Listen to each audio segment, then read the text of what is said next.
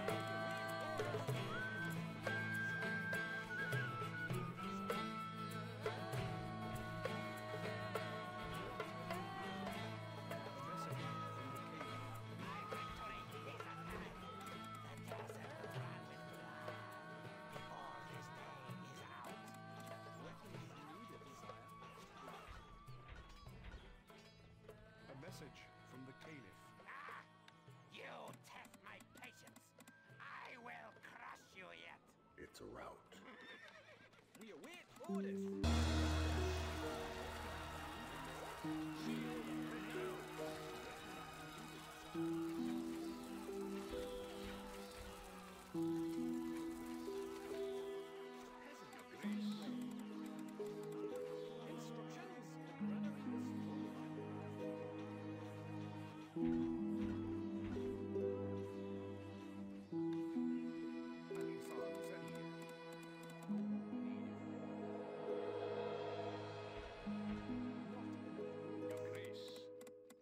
Thank you.